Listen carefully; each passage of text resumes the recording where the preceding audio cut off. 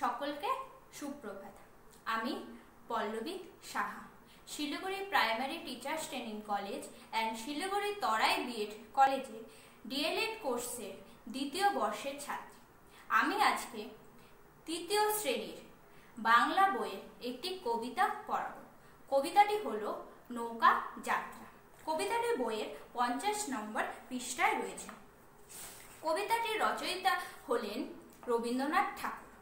কবিতাটি পড়ার আগে আমরা প্রথমে জেনে নেব কবি অর্থাৎ রবীন্দ্রনাথ ঠাকুরের সম্পর্কে। রবীন্দ্রনাথ ঠাকুর, যাকে আমরা বিশ্বকবি কবিগুরু বলে ডেকে থাকি।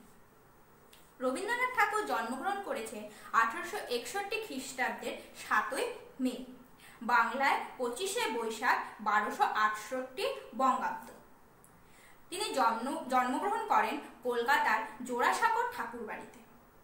অল্প বয়স থেকেই ঠাকুরবাড়ি থেকে প্রকাশিত ভারতী ও বালক পত্রিকায় তিনি নিয়মিত লিখতেন। কথা ও কাহিনী, সহজ পাঠ, ছেলেবেলা, শিশু, গল্পগুচ্ছ, ডাকঘর সহ তার বহু রচনায় শিশু ও কিশোরদের আকৃষ্ট করে। দীর্ঘ জীবনে অজস্র কবিতা, গান, ছোট গল্প, উপন্যাস, প্রবন্ধ, নাটক তিনি লিখেছেন। এমনকি তিনি ছবিও এঁকেছেন। উনিশশো তেরো খ্রিস্টাব্দে তিনি নোবেল পুরস্কার পান। দুটি স্বাধীন রাষ্ট্র, ভারত আর বাংলাদেশের জাতীয় সংগীত তার রচনা। ভারতের জাতীয় সংগীত জনগণ, মন অধি আর বাংলাদেশের জাতীয় সংগীত আমার সোনার বাংলা, আমি তোমায় ভালোবাসি, এই দুটি সঙ্গীতই রবীন্দ্রনাথ ঠাকুরের রচনা।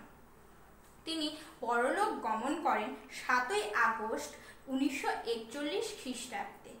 বাংলায় বাইশে শ্রাবণ তেরোশো আটচল্লিশ বঙ্গাব্দ। তিনি আমাদের ছেড়ে চলে যান সাতই আগস্ট উনিশশো একচল্লিশ খ্রিস্টাব্দে বাংলায় বাইশে শ্রাবণ তেরোশো আটচল্লিশ বঙ্গাব্দে। এবার আমরা কবিতাটি আসি। কবিতাটি নৌকাযাত্রা রবীন্দ্রনাথ ঠাকুরের শিশু নামক বই থেকে নেওয়া হয়েছে। কবিতাটি মূলত ভ্রমণ কেন্দ্রিক একটি কবিতা। ভ্রমণকে মানে ঘুরতে যাওয়া ভ্রমণ অর্থাৎ ঘুরতে যাওয়াকে কেন্দ্র করে, ঘুরতে যাওয়া, বেড়াতে যাওয়া, এরকমকে কেন্দ্র করে কবিতাটি লেখা। এই কবিতায় শিশু, একটি শিশু রাজগঞ্জের ঘাটে বাঁধা মধু মাঝির নৌকা, যেটি মূলত কোনো কাজেই লাগে না, সেটি, সেটা নিয়ে সে একবার যেতে চায় সাত সমুদ্র তেরো নদীর পারে সে যদি যায়, তাহলে তার মা কাঁদবে। তাই সে যাওয়ার আগে মাকে বলে সে তো চোদ্দ বছরের জন্য রামের মতো বনবাসে যাচ্ছে না। সে রাজপুত্র হয়ে সোনা মানিক বয়ে আশু ও শ্যামকে নিয়ে একবার সাত সমুদ্র তেরো নদীর পাড়ে যেতে চায়। ভোরের বেলায় সে নৌকা ছেড়ে দেবে। দুপুর বেলা তার মা যখন পুকুর ঘাটে থাকবে, তখন সে তিরুপূর্ণের ঘাট তেপান্তরের মাঠ পেরিয়ে নতুন রাজার দেশে পৌঁছে যাবে। সন্ধেতে ফিরে আসবে, তারপর মায়ের কোলে এসে গল্প শোনাবে। এটি হলো নৌকাযাত্রা কবিতাটির বিষয়বস্তু বা সারসংক্ষেপ। এবার আমরা কবিতাটি পড়ব। নৌকা যাত্রা রবীন্দ্রনাথ ঠাকুর। মধু মাঝির ওই যে নৌকাখানা, বাধা আছে রাজগঞ্জের মাঝে। মধু নামক একজন মাঝি, তার নৌকাখানা বাধা আছে রাজগঞ্জ নামক একটি ঘাটে। কারও কোনো কাজে লাগছে না তো বোঝাই করা আছে কেবল পাটে কারও কোনো কাজে লাগছে না সেই নৌকাটা, বোঝাই করা আছে কেবল পাট আমায় যদি দেয় তারা নৌকাটি, আমি তবে একশোটা দাঁড়াটি। যদি আমায়, অর্থাৎ শিশুটিকে যদি নৌকাটি দেয়, সে তাহলে একশোটা দাঁড় আটে। পাল তুলে দিই চারটে পাঁচটে ছটা। পাল তুলে দিবে চারটে, পাঁচটে বা ছটা। মিথ্যে ঘুরে বেড়াই নাকো হাটে। মিথ্যে ঘুরে বেড়াবে না হাটে।